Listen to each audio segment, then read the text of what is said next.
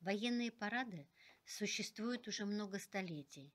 Происхождение их теряется в глубокой старине. Но есть два парада в отечественной истории, которые стоят особняком от всех других, по тому значению, какое имели они для страны, по той цене, какую заплатил за них наш народ. Это парады Великой Отечественной. Первый – легендарный парад 7 ноября 1941 года – когда со снеженной Красной площади участники торжественного марша уходили прямо на фронт. Второй – парад Победы, когда по Красной площади шли победители, освободившие мир от фашизма. Предлагаем вашему вниманию презентацию книги Юрия Петровича Тюрина «Два парада».